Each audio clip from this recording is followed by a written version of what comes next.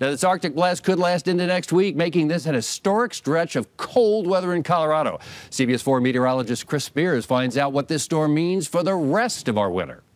We had a wind gust 37 miles an hour. CBS 4 weather watcher Pete Richards is recording history at his weather station. Winter came in like a lion. I've never seen anything like it before. And um, when I sent in the weather report at 4, it was 51 degrees below what it was the previous day on Sunday. Wow, 51 degrees. 51, That's amazing. it is. And the wind whipped up. Weather watcher Linda Evans was also amazed by the storm.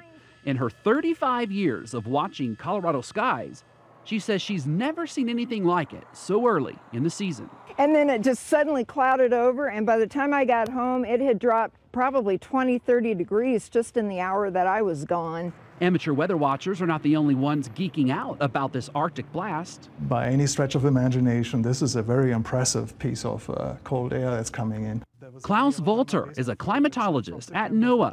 He showed me models that keep cold air streaming into the lower 48 for the next week and a jet stream that's bringing much needed moisture to California. That to me, that's like a winter lover's uh, dream. We're cool, we're active in the short term, meaning maybe the next 10 days or so.